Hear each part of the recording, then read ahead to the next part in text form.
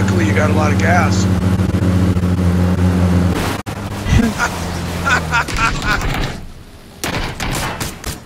oh, get him on the back of the tree. Oh.